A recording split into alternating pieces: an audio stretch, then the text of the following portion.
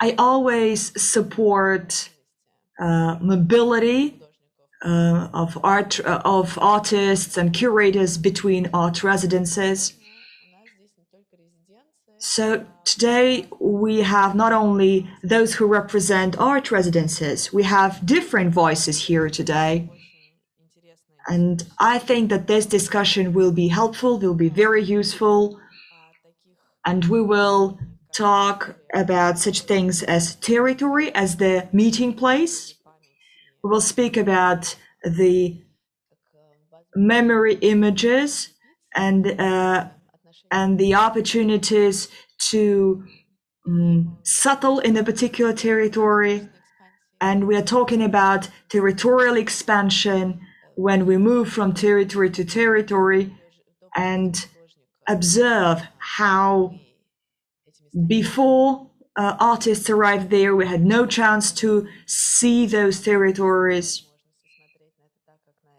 And also, we have no um, opportunities to see those territories the way artists see them. And uh, towards the end of our session, we expect a surprise from Anna Kavulina. So let me enumerate our speakers today. So uh, each presentation um, well, shall last uh, not more than 10 minutes so that we have enough time for discussion afterwards. So we will start with our online participant. Uh, is he uh, is he here already? And can we see him on, on the screen? Hello, Anton. Hello. So this is Anton Shamshin.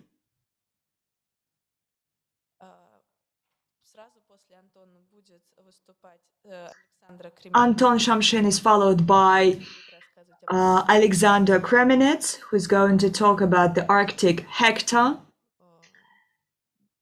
Then we have Danil Tkachenko, uh, and uh, he will talk about the um, Altai Biennale. And finally, we have we'll, we will talk about the uh, art residences of the future. So, Anton, could you please introduce yourself, uh, tell more about yourself, and then switch over to your presentation? Anton has photos that we also ask you to bring on the slide, on the screen, so that we could have a look at the photos and listen to Anton. Good morning. Thank you for inviting me to participate in the session. My name is Anton. I'm from Murmansk. And I would like to tell you about the adventure we started uh, this summer. This is the uh, Tersky Bereg art residence. I would like to tell more about this location. So this is the Murmansk region. Tersky district uh, in the southeast, and it has a lot of peculiarities, a lot of features. So first, this is northern nature, northern landscapes.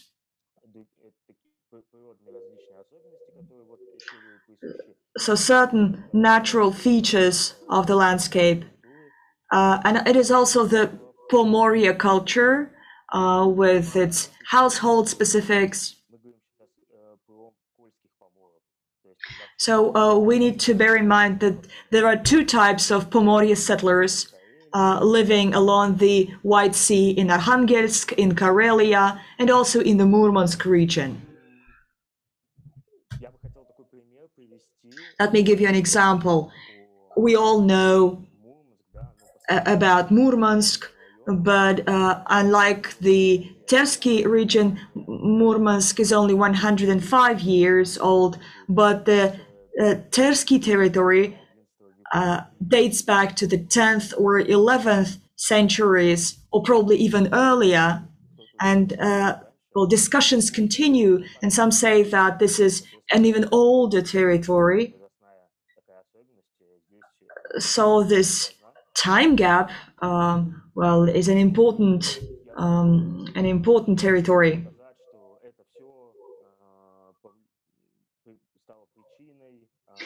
That is why we decided to establish the art residence there, but probably this was not the primary reason.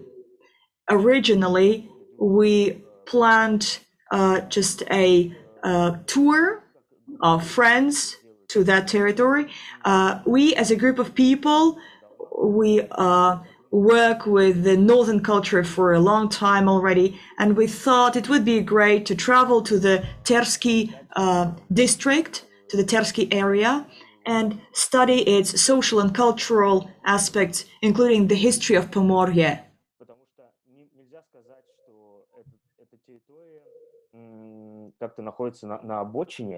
Uh, it would be wrong to say that Pomorye is on the outskirts, but uh, nevertheless, in terms of distance from Murmansk, it takes five to six hours to get there, and it's a long and difficult uh, way. And when we arranged the open call, many artists who submitted their applications, they knew what Tersky district is, they knew about its specifics, but they needed help um, in order to get to, to, to that territory, to that area. It's not that easy. Originally, we had no plans to establish a public art residence. Just uh, a, a, a trip there. But when preparing for that trip, when talking with the locals, and when we were trying to get some financial support, we realized that uh, well, it, it, it, turns out it's a big project, and that's why we. Uh, that's why an idea came to our mind that probably we should establish an art residence. And we had two goals in mind. The first goal is to establish the infrastructure and an opportunity for artists to get there in order to communicate with the locals, to learn more about the Pomorye culture, in order to popularize this beautiful culture, and in order to add some contemporary art uh, techniques to this culture. The second goal is to use the artistic expertise in order to develop the local community and the territory. So in August uh, this year, we launched the pilot. It had a hybrid format. So for a couple of days, we were traveling around the Tersky district, and uh, then we settled down in two settlements to live and work there. The Tersky district is big and diverse it consists of multiple settlements. So uh, you can you you can have different formats. So as an expedition, or you can stay in a particular settlement for a long period of time to study its specifics. So there are both natural and cultural aspects um, of study, and there are a lot of activists who support uh, the, the sites. And there is even some sort of competition um, or uh, like uh, every group of activists tries to highlight the specifics of this or that settlement. So the art residence lasted for 10 days and you could stay for 10 days in one settlement and you would have a lot of things to study there throughout that period of time and uh, get ready with a project. Well, uh, we tried not to limit ourselves to certain artistic formats. Um, well, we wanted our artists to come there and arrange various projects. So uh, we had uh, multiple participants, very different. But let me uh, briefly um, speak about two projects. Could you please now show the picture of the wall which says Umba? I would be grateful if you could do that. The picture with the word Umba on it.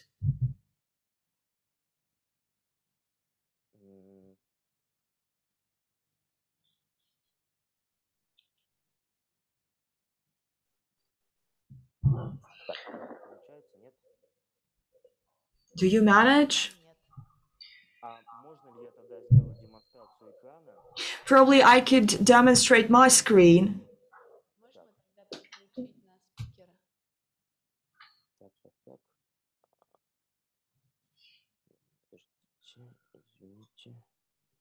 получается пока тоже.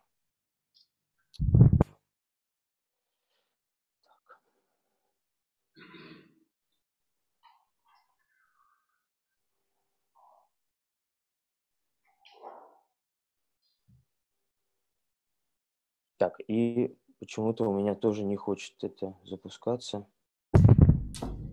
For some reason, I cannot demonstrate uh, the screen. Probably you can describe what is there in that photo.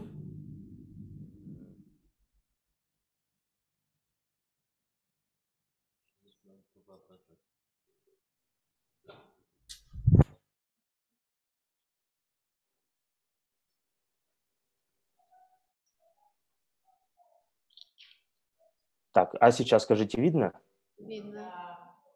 Итак, это э, почему это очень важная фотография? Это So this picture is very important. It was made by Vladimir Anosov, uh, a calligraphic painter. He was one of the participants, and he uh, arrived at the art residence.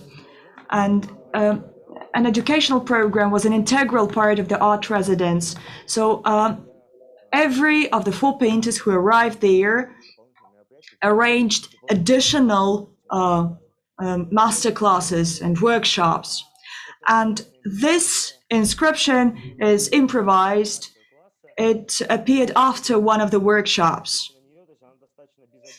Uh, well, it looks, well, quite simple, quite innocuous, but please bear it in mind because I will tell more about it later on.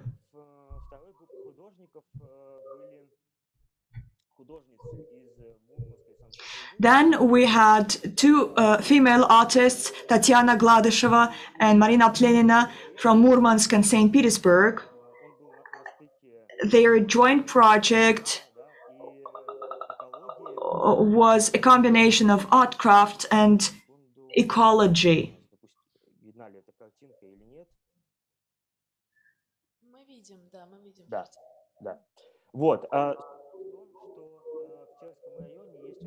In the Tersky district, uh, there is a huge problem with uh, the with the glass, with the window glass. Uh, we still cannot understand whether this is a local tradition to break glass and throw it away into the local water basins.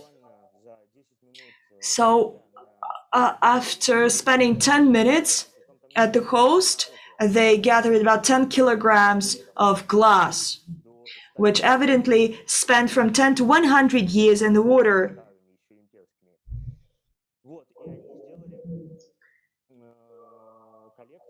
And they made a collection of home decor together with the locals. And currently, this collection is exhibited in one of the uh, Umba settlement in the Tersky district.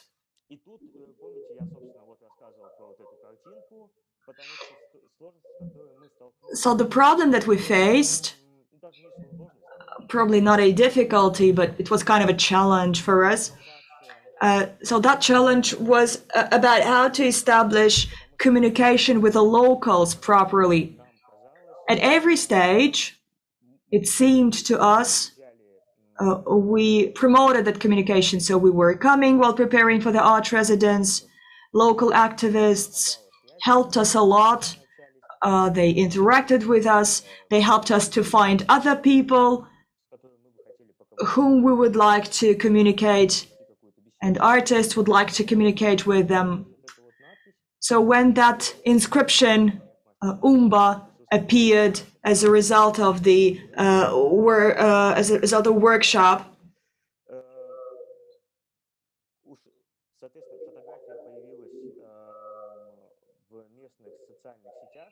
The photo appeared in the local media, social media. And it triggered two um, rivaling, uh, rivaling camps. Then the photos were deleted. But the point was that this photo, after a while, became less important. People just started um, solving problems um, related to how they see the cultural and artistic future of their place. At the same time, it's well, it started a discussion and the format of the discussion impressed me a lot. I still do not know how to perceive that. Uh, like, so it turned into kind of mutual accusations of each other. Uh, the, the, settlement was small and everybody was blaming each other uh, for what they contributed to the development of the local hip hop culture. And uh, so the art residence starts officially in summer 2022 and we're already thinking about how to uh, efficiently communicate with the local community, uh, how to um, bring up more ideas.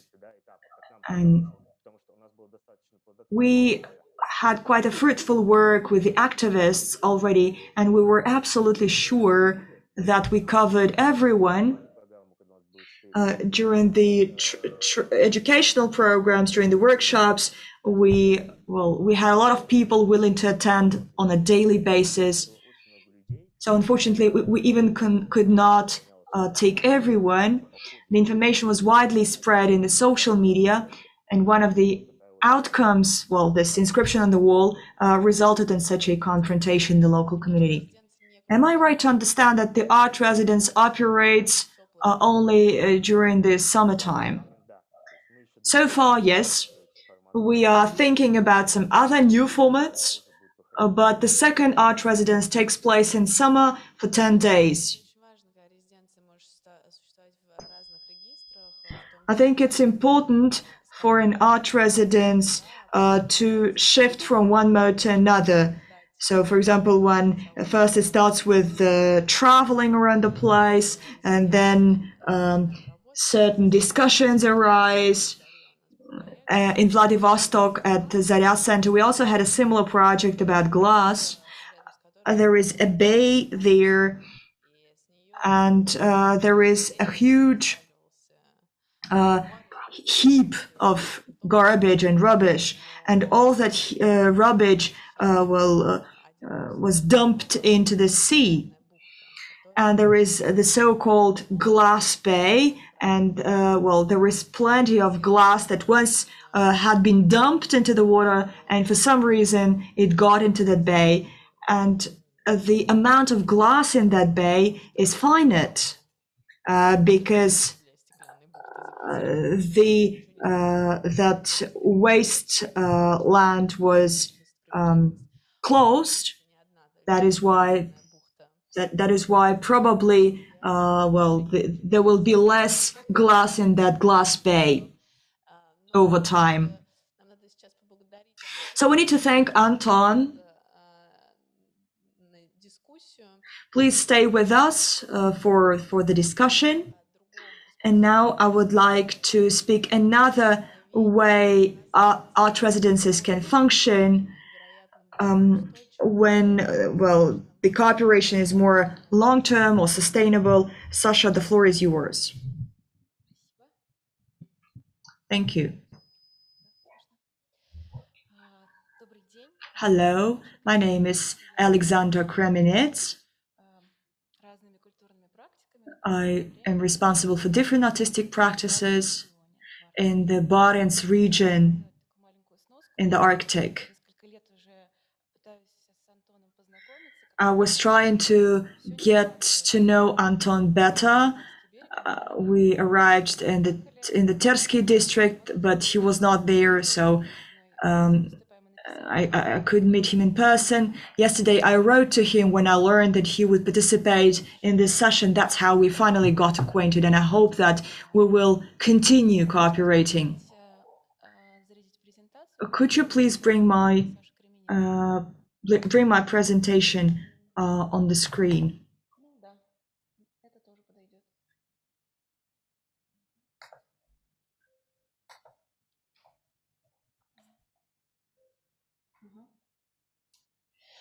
В общем, м, приехала я на север э, в I arrived in the north in 2017. I was invited by Nornickel company. работают, э, с- работали и продолжают работать э, с территории своего присутствия. They try to uh, arrange different projects Э, Так я туда in, in the territory where they are present. That's how I got there. где я работаю, So the area that I work in is called uh, uh, uh, district. It is close to Norway. This is where uh, company is based, and this is um, the distance to Moscow. So it is 30 kilometers to, uh, to the nearest town, and it is about 2,000 kilometers to Moscow. So uh, Norway is very close. That's why the relations with Norway um, are very good. So people get married, um, travel across the border. And well, it's a very long way to Moscow. Well, it will take two and a half hours by plane to Moscow, but you need to get to the airplane. And uh, sometimes there is so much snow that it's a big problem to get to the airport. So generally, it takes me 10, uh, uh 8 hours door to door. So we arranged nickel art residence there. It's uh, uh, accommodated in a secondary school building. So the the school is empty. Well, because there are uh, there is a huge um, outflow of the local population. So the building uh, now houses several institutions. The first is the multifunctional center. The second, uh, the second floor is taken by uh, the um, children's center, and the third is our art residence.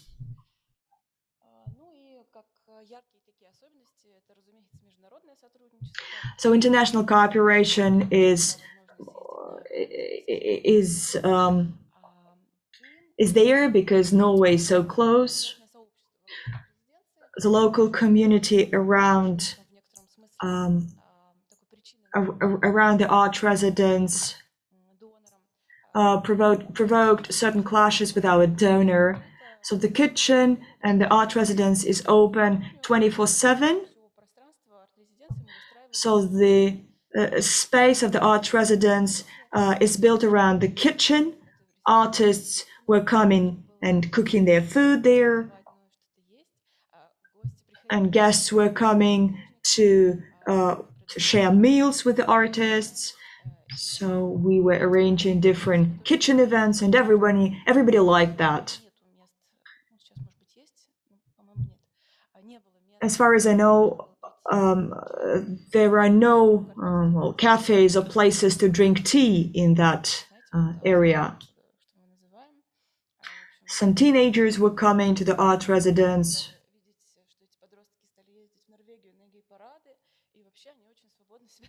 And those teenagers who were coming to our art residence uh, then started traveling to Norway for uh, LGBT parades and started to feel much freer. So two years passed, and we clashed with uh, our contractor as to whether the art residence should function 24 7. Then the pandemic started, um, and I decided that uh, I won't support the art residence, which cannot be attended by children and teenagers.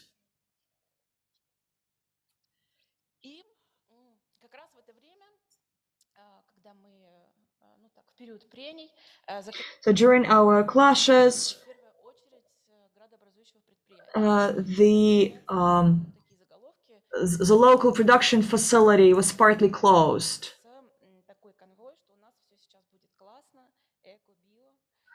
And uh, well, uh, talks started about uh, the uh, changes um, towards a cleaner environment, cleaner air, and less pollution. But the point is that the heavy metals were still in the soil, and there were uh, plenty of and there were plenty of um, um, slag heaps, and uh, they look like huge black hills. So that was the moment when we distanced from our contractors so we, as I as I generally say, we had political differences with the contractor. So we opened our production center, which we call the Barents Home, the Barents Dome. By that time, we already had a set of international projects, and we realized that we could um, operate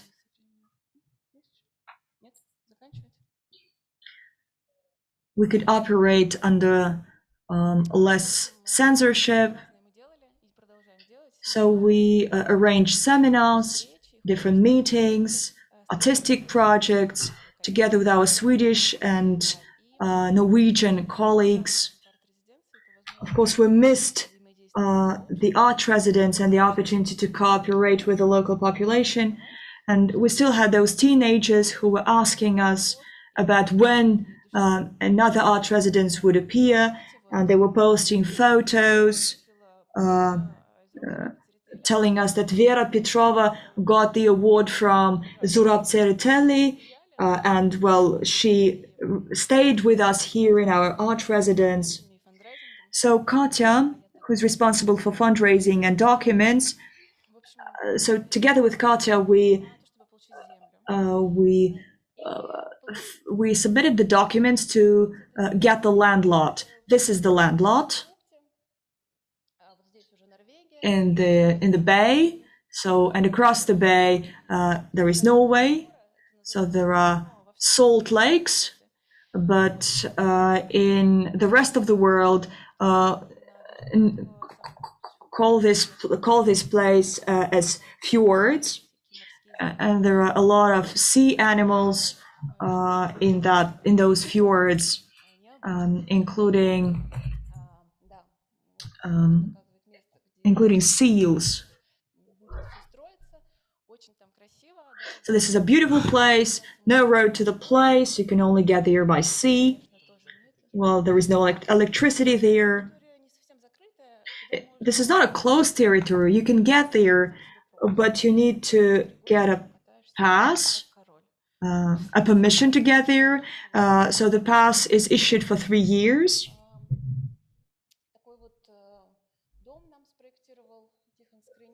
So this is the house designed by Tikhon Skrinnikov. It looks like uh, two sheds or two barns. And there is one more observation house, a kitchen, where we hope uh, we will be visited by the locals. We tried to uh, make this place look nice. Now we collect all doors. Anton, probably if you hear us, we would be happy to get the doors because now we need the doors. There are six uh, rooms, including a room uh, for a family for a family we want artists to come with their children. And we also have a room for people with uh, special needs, with disabilities.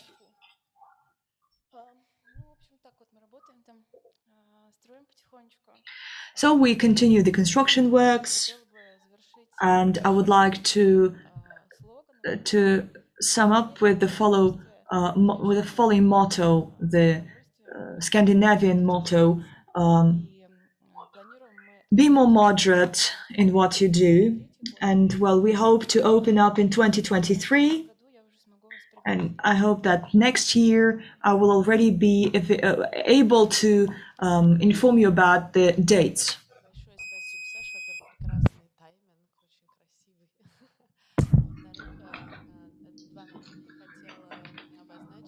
Thank you very much, Sasha. You stuck to the agenda and to your time slot perfectly. Yesterday we had a great discussion when we started talking about refusal forms when communications fail, when uh, vision of those who make residences does not correspond to the owner owner's vision and this is a very painful moment for anyone because we all realize that if there is a single source of finance then the project is unsustainable. And it's doomed to end at a certain point. And it uh, applies to residences as well as to other cultural um, projects. This is an inspiring example of how the connections appear, connections that stay there for a long time. Uh, can you say a few more words about where your money comes from? That's my question number one. And then it's not a question, but a comment rather, but also about the community.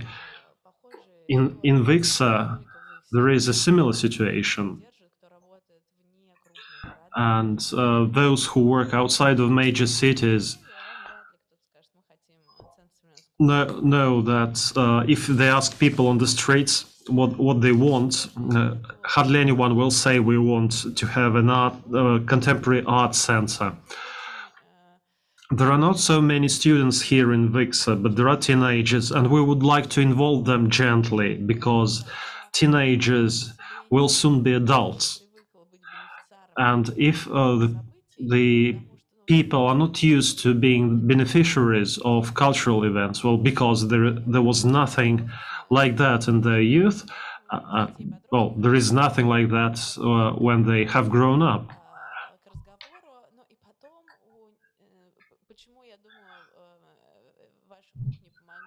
And why I believe that your kitchens helped uh, the the guys to to self orientate because the, uh, in this close community uh, suddenly there is someone from from an outside environment and you do, you don't have uh, established relations with them and you can try to use a different mode of communication there that is not possible in a small town so this breaking the seal is uh, great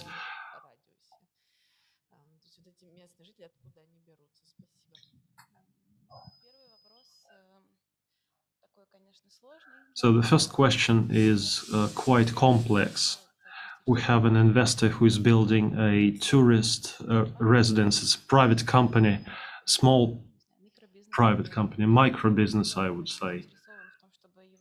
But uh, this investor is very much interested in getting uh, his rich guests uh, to be entertained, and he helps a lot but we also uh, have grants from the regional authorities for the tourism development.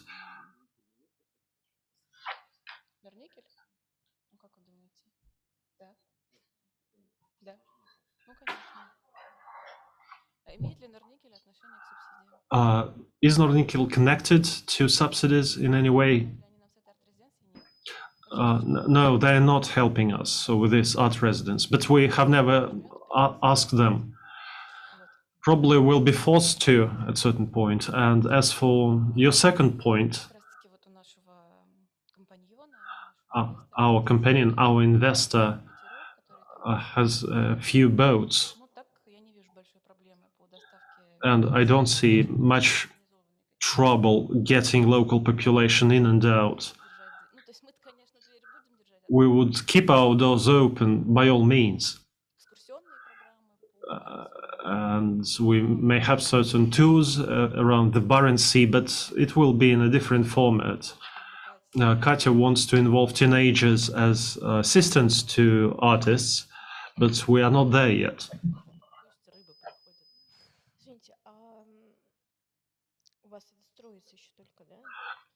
Uh, construction is still underway, right? have you have you thought about provisions if there is nothing else there literally I, am talking about food uh, medicine I mean, uh, any infrastructure that is found in the smallest settlement. How, how would you call a doctor, for example? Well, we have a helicopter pad. You, you'll have your own chopper? No, but uh, there is an opportunity to to call a helicopter, even emergency helicopter, in the Murmansk region. But I believe it it, it may cost as as much as thousand dollars per flight in, in terms of the helicopter. I can't see how it's going to be viable economically.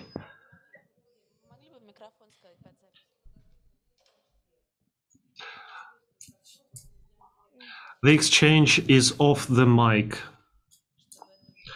Into the microphone, please. I'm now working with teenagers uh, whom we are taking there on tours. Well, and all locations in our district are hard to get to. So there are no uh, hospitals there all uh, touristic areas are remote and hard to reach. Well, we normally take out insurances for, for the guests. It's not uh, th that much. And the insurance includes uh, helicopter services, ambulance services, if someone is injured or falls ill.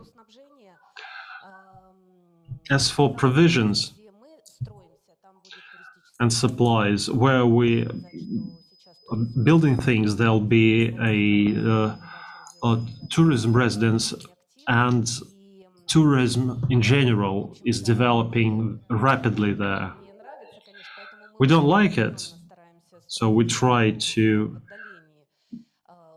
build our buildings farther away from them, so close to our investor, and there is now no one else around. And we agreed immediately that we will cooperate on all matters, including how his houses are going to look and whether it's going to be in tune with what we build, because this will be uh, a point of attraction for his business. Well, obviously, you you, you should understand uh, how much a boat, a motorboat costs, but yet it can be reached on foot. So if you can't go out to the sea, there are hiking routes. It takes a while, but it's still possible. You can still uh, you can still have snowmobiles in winter times. We've been asked uh,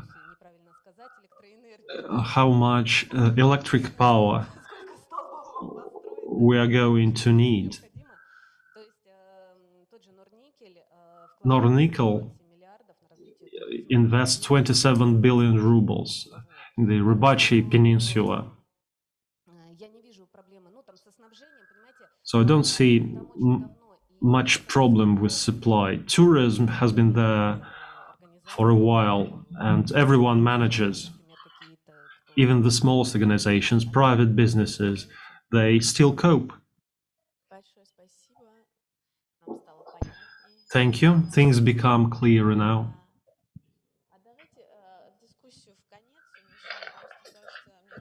Let's keep our discussion till the end.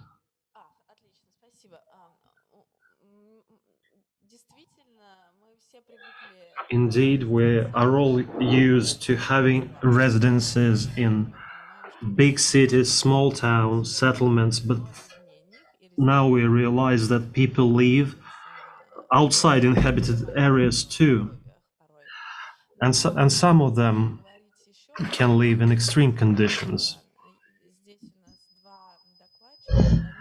I would like to talk about another project. Danil Tkachenko, whom I know, whom I've known for a long time as an artist, and his uh, capability to reach out to territories and offer uh, perspectives that were not accessible to us before. Remember of his restricted areas project that uh, baffles imagination and uh, takes a lot of travel to perform Uh, today we're going to talk the Altai Biennial, his new community practices in various places.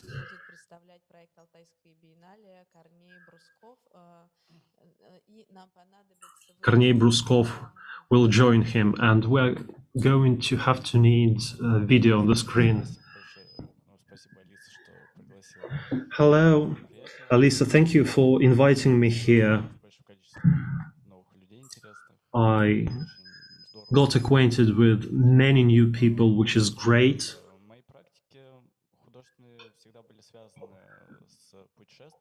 my art practices have always been linked with uh, traveling, looking into the remote places in the Russia, Russian Federation and in the former Soviet Union.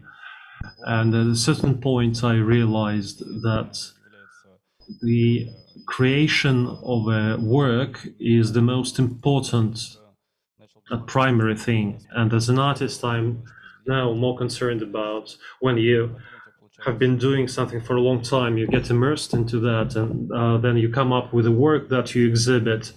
And I've always felt a certain distance between the spectator and myself, the artist.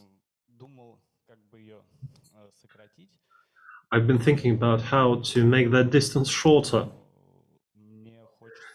And this brought me to realization that I would like to concentrate on creating experience rather than set myself a task uh, of creating a piece of work uh, in the end.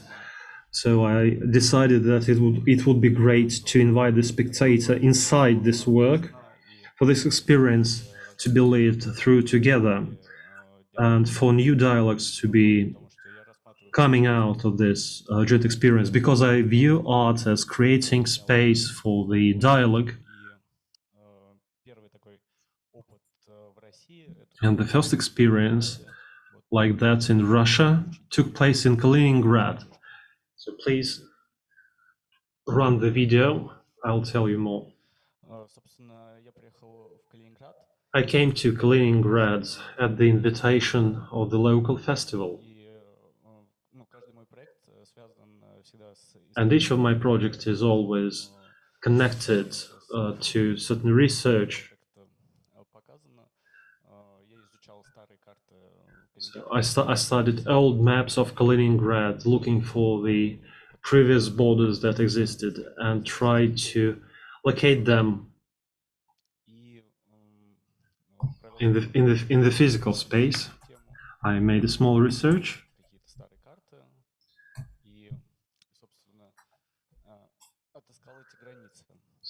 I discovered old maps and, discover, and found those uh, borders uh, in the field.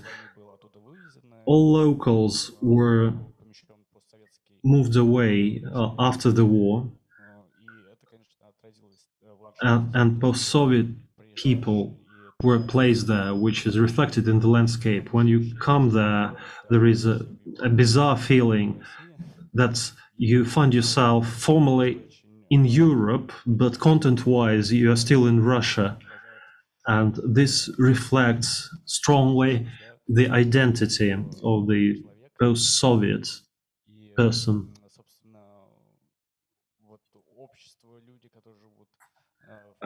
And the, and the community, people who live in Kaliningrad ha- have always debates about their identity. Someone consider themselves European, someone Kaliningradians, someone Russians, and uh, this discussion is ever ongoing. And it was something I was interested in working with. So we made an open call and attracted about 50 applicants half of the locals and half of uh, people from all over Russia, Novosibirsk, Krasnoyarsk, Omsk. So there was a text about that project. And those who were interested in that, well, came over. And we jointly set out on a journey around the Kaliningrad region looking for the old borders, try to bring them out and mark them.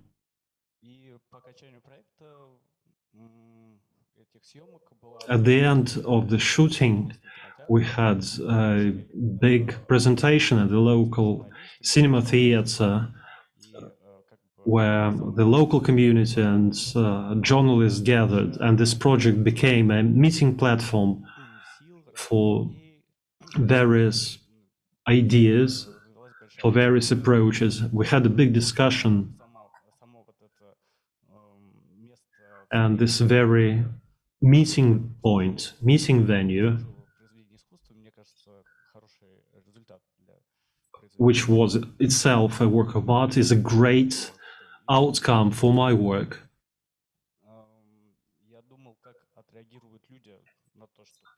I tried to imagine how people would react to what I was doing, whether they would be interested in that, whether they are going to be keen, because the process is rather dull. Nothing happens, you just go from place to place looking for something, well, it may seem um, very dull and boring, but people got really enthusiastic about it, felt the context, that it became important and fascinating for them. They got new experience.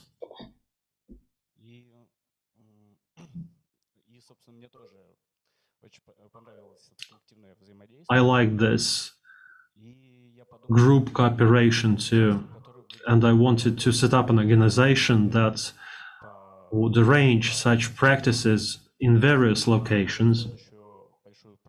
And the next big practice is planned in the Altai territory. There'll be the Altai biennial soon. And each project is linked to researching the local context.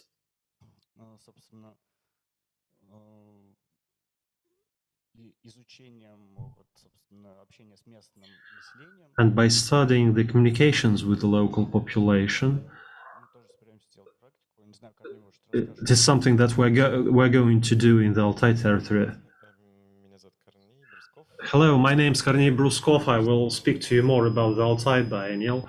So in 2020, there was this mythical story, you know, in the spirit of, of, of Altai, in the geographical sense of Eurasia, at the cross section of Mongolia, Kazakhstan, China, and Russia, a point of attraction appeared.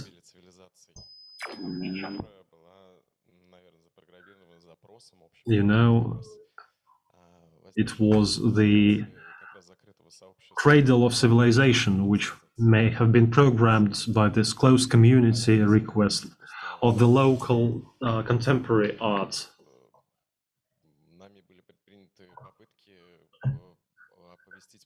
And we attempted to reach out to as many people as, as we can all over the world to bring them over to the Altai territory.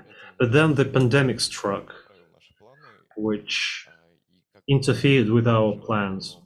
First, we were frustrated about that, but then we realized that this communication and collabor collaborative practices uh, that we started out were the key actions in the current context and this postponement of an important event for, for a while is a key vector of today.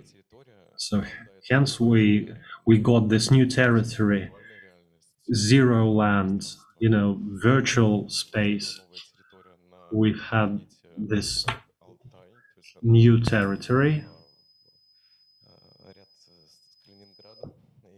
So it stands along with Kaliningrad practice and practices in other locations, and a new form of biennial now uh, came uh, came out, deprived of this uh, uh, fetish, uh, penchant of this uh, anthrop anthropocentrism.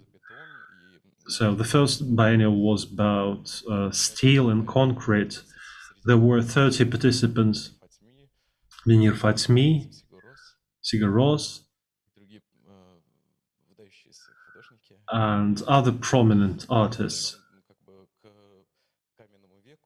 It was focused on the Stone Age and the proto-languages that overwhelm us. A team was formed and Danilo was involved in the first chapter and it so happened that curator will soon be appointed of the second project, and its topic will be announced.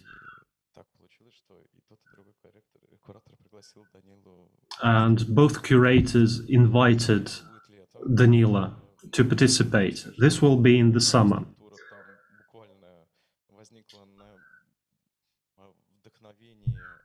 Our structure appeared there driven by the inspiration of, of the region with 10 or 15 uh, passionate people who work on the specific areas of social application. And we have uh, our own hotels, pieces of land, and communities to, to work with.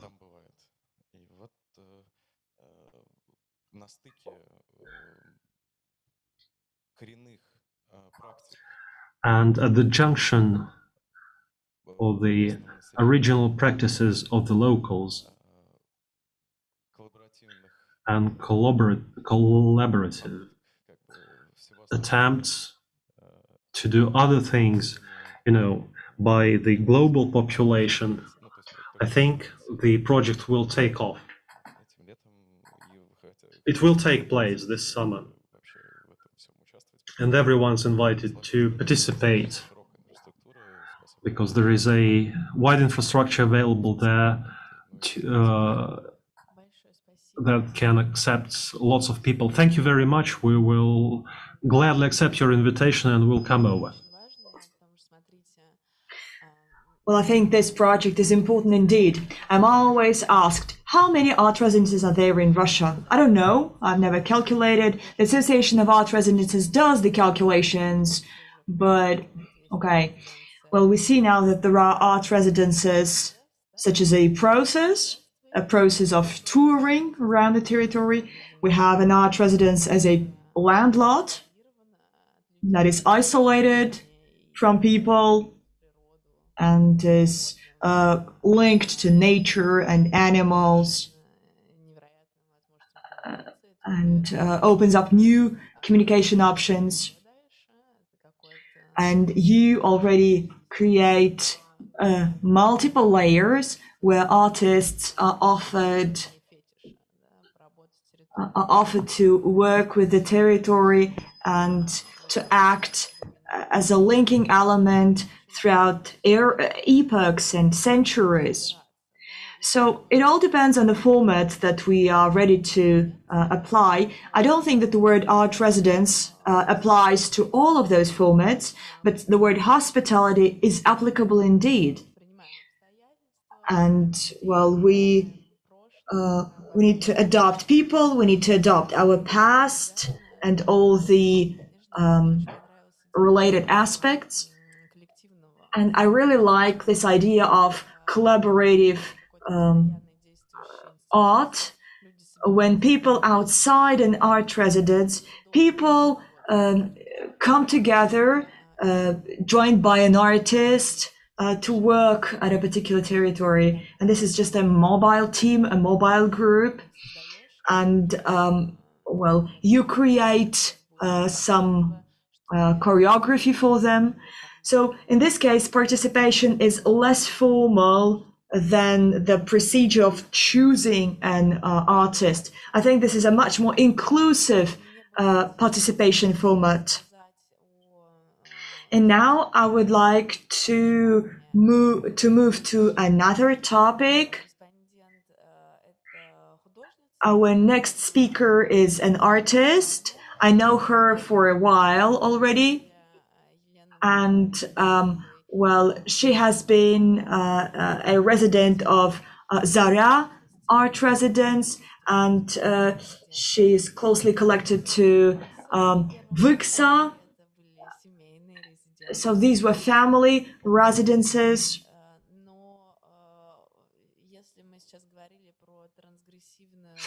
Well, speaking about transgression and nature, now we also need to talk about an artist uh, an artist that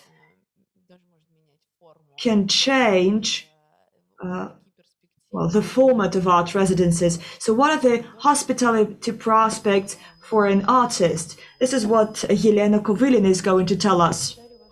Hello, hello everyone. Thank you for inviting me.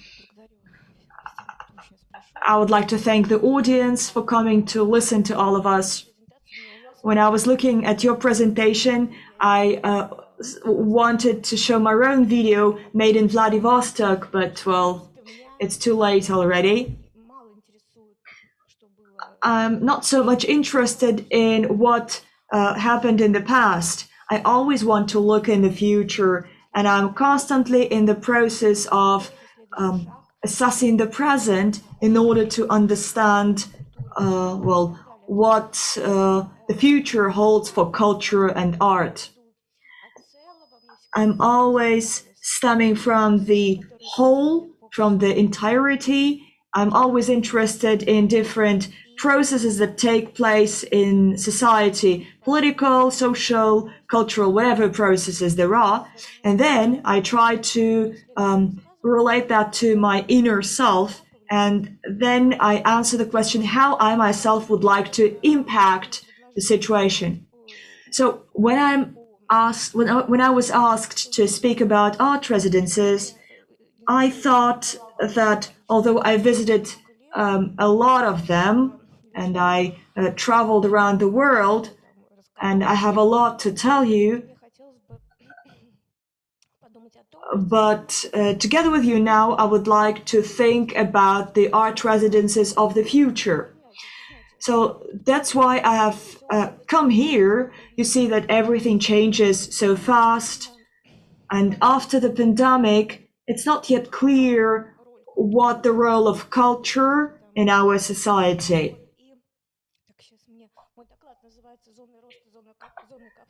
Uh, so I'm going to speak about the growth uh, growth zones, uh, about the cultural policy and the uh, arc zones.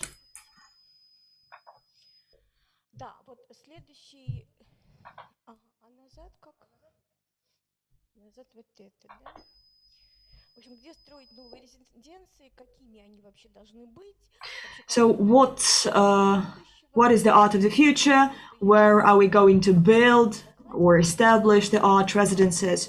So, in my brief presentation, I will make an attempt to identify the role and the form of art residences in modern society and in the society of the future. This is generally what we start from. Our foreign colleagues mentioned uh, sustainable development. And for myself, I decided to clarify what sustainable development is.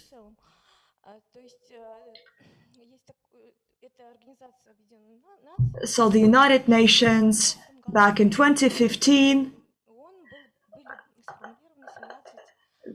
the UN General Assembly um, identified 17 uh, sustainable goals. So this is a huge document worked out by the United Nations. I'm not going to uh, go deep uh, into all those sustainable development goals. Well, this is an open, uh, this is open information, and after looking through those 17 goals, I tried to find out where art uh, uh, were outliers amid those 17 goals? Well, actually, there is no art as a separate sustainable development goal, but we still can try to insert art into some of those goals.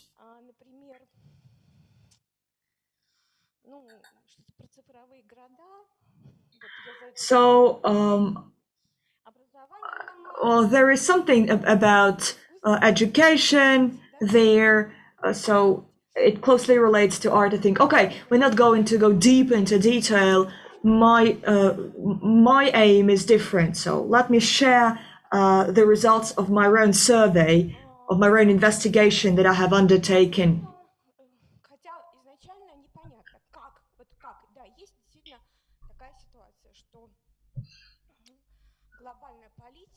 So the global uh,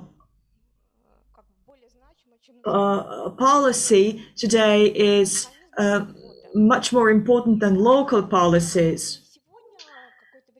So what is the transition mechanism? So um, I think the reason for that is that it happens through transnational um, organizations like the United Nations. And also there is one more organization, which is uh, UCLG, United Communities and Local Governments, established in Belgium uh, as the UN um, uh, agency. And their goal is to unite local governments, municipalities, and communities. This is a very strong uh, agency. And um, having analyzed my international experience, I now understand that I've always uh, received grants, scholarships, visited art residences, and all those um, uh, cities and towns have been members of uh, the UCLG. And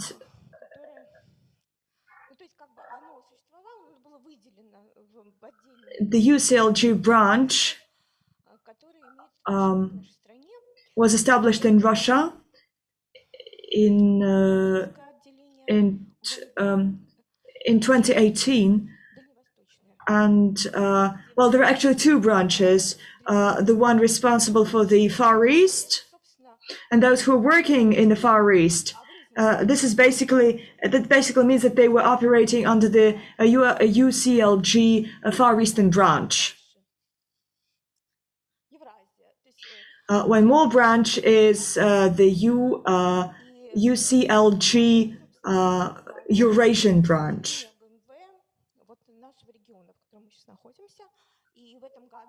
And this year, this regional branch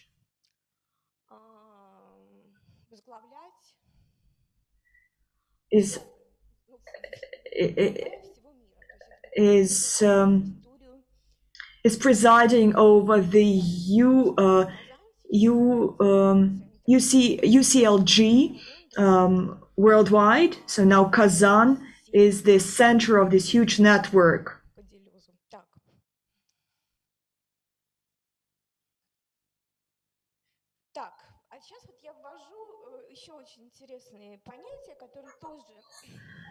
One more uh, term that I would like to introduce, and the term has come from the uh, analysis of uh, the information that I have studied. In 2017, uh, the uh, Forbes magazine published a map of lands after the uh, uh the flood, and so one of the uh, topics discussed globally is that we are facing this great flood. the sea levels are growing, and soon uh, well, we will have no place to live. We will face another great flood. And Altai will be the territory that will survive. And according to the map,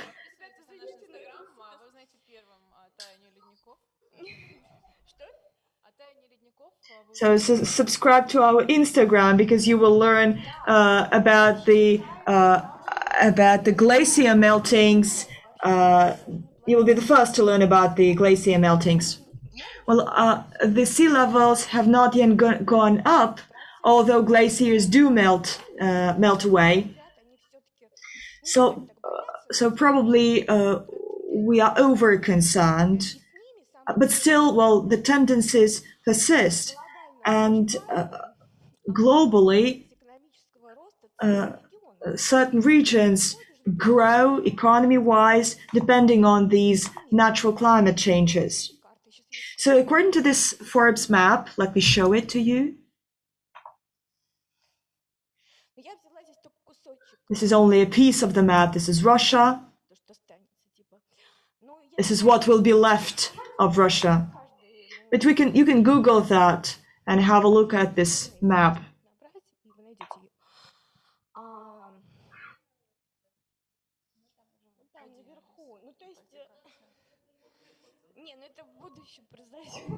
This is something that we expect in the future. There is another map of the economic zone's growth. And if you put it over this uh, great flood map, we will find certain growth zones. Uh, they are called the arc zones that will be left after the great flood. And there are so there are flood zones and flood and arc uh, zones. So growth zones and decline zones. If we look at Europe, at the European territory, over the last two decades, um, uh, NPPs are shut down, productions are shut down. So these zones that uh, are alert, that will allegedly be, be flooded, there is no economic growth there right now already. But the growth zones, sometimes they're uh, referred to as offshore um, zones or safe haven zones. So these zones will um, will persist after the Great Flood. Okay, this is pure theory.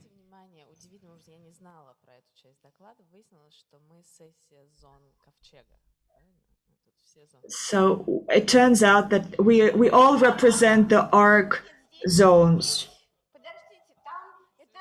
Wait, wait, we need to look carefully at the map. Uh, some areas around Murmansk um, are expected to persist as well. We need to look at the map in detail and be very careful about the spots that you choose for your art residences.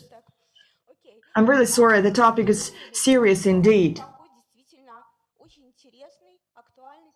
Well, there is one more relevant trend that has emerged recently, well, just a couple of months ago.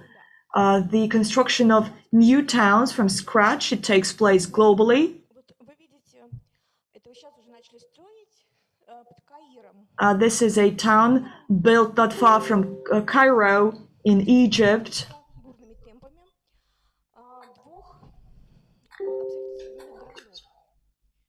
Uh, two towns are built um, in uh, not far from Cairo. They even plan some space station there. This is expected to be a new capital of Egypt. And this is the defense ministry of Egypt here. So now it is being built. So if we look at this map, and at this town, uh, this town will will house all the administrative uh, facilities, and there will be another satellite town uh, where the um, uh, where the people working uh, will live. It will be for uh, the operating personnel. Um, a couple of days ago, uh, a couple of days ago, Elon Musk uh, presented his project of um, a town to be built on Mars. So, and towns will, will be built under domes. So there is budget calculated. So he made calculations how much it will cost to build such domed towns. So now let's think where we need to build art residences. So here, uh, here I wanted to make a stop because this is a, a rhetorical question. Just a couple of uh, uh a couple of notes to make. Being a, not only an artist but a curator. From my perspective, uh, the competences of an artist must be uh, expanded and must include certain um, scientific knowledge so the artists of the future are the people who who are interdisciplinary experts, and it's not enough for them to have only artistic qualifications. That's why now science art departments are now being set up at technical universities. So if the person has technical qualifications, uh, he understands what science art is much faster as compared to artists. That is why new residences of the future, uh, well, must uh, be arranged in particular spots. And I've said we need to be very careful about selecting those spots. And to my mind, uh, they need to be uh, set up as autonomous uh, stations, autonomous places. This is it. Thank you. Thank you, Elena. We're supposed to to stop uh, agenda-wise. If you hurry for lunch, uh, please feel free to go. But I think it would still be great to make some exchanges I would I would like to complement Elena's talk with how I see it. Uh, Yulia showed this morning slides about useful art, and I believe that this is a uh, doubtful and speculative term because uh, practical value doesn't have to be there when we make art and even uh, when we ask ourselves about residences and why art artists' presence is required, I always give my understanding that artist is not just something that he or she does. We may not have seen the situation until that artist uh, arrived at all. They can change uh, perspectives they can choose what they look at.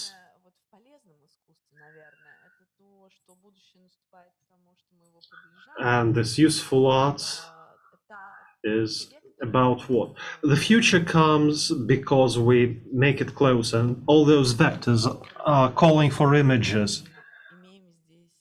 And we deal with images here So, thank you, Elaine, for taking our discussion to space.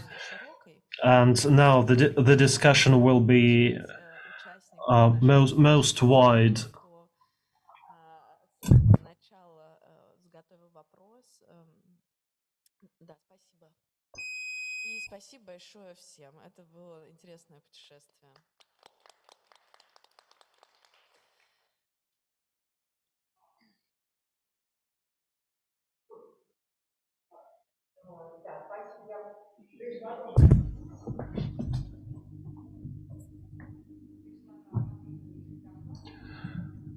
Off the mic.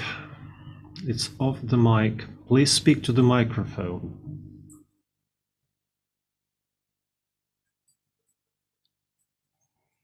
Раз, раз. хотя бы вы это увидели. А, Я просто это все слушала. Мне кажется, I've been listening to all of this, and not so long ago in uh, Lenin Library, I found an interesting edition of the 1957 entitled Certain Matters of the Volumetric Solutions of Structures on the Moon. So, back in 1967, long before Elon Musk, those discussions were ongoing. So we, on the one hand, may be relaxed that all those drastic changes are not going to catch up with, that, with us so soon. But on the other hand, we keep coming back to that idea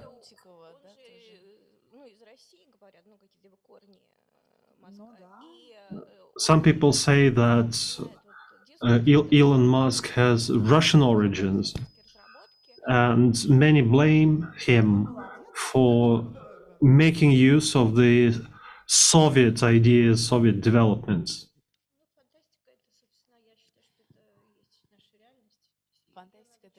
Science fiction is our reality already.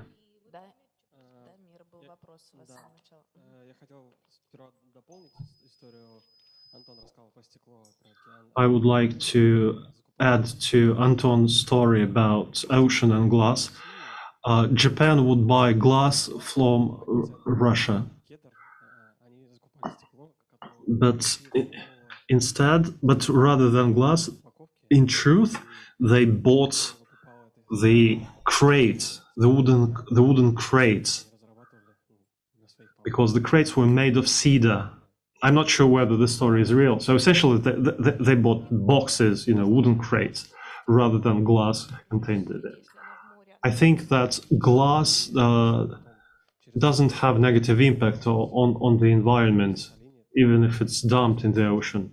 So uh, in Sakhalin, you see the small sands uh, which is colorful because of that glass.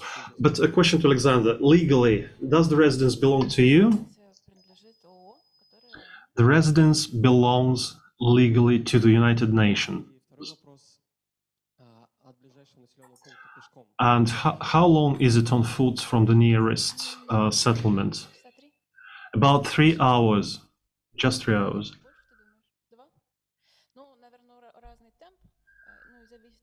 Well, obviously, it will depend on, on the pace and, and the weather. Are you considering uh, routes on foot for the artists who want to? So it's not uh, very comfortable to to use uh, to walk on foot there with your backpack but it's a common practice if the sea is closed because of a storm or anything else. Uh, tourists are normally sent home on foot and then their belongings are sent uh, by aviation. And I would like to add a few more words about the economic model. We have a preliminary agreement with our Norwegian colleagues, our partners,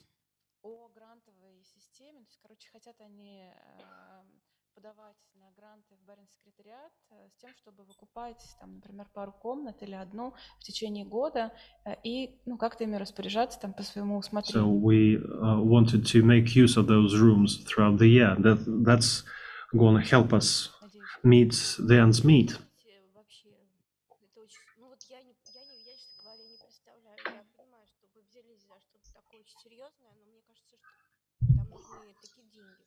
This is something difficult.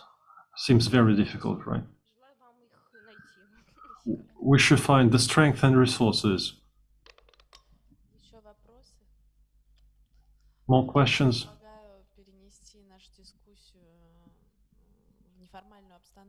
Then let's proceed with our discussion offline then, informally. Thanks to everyone.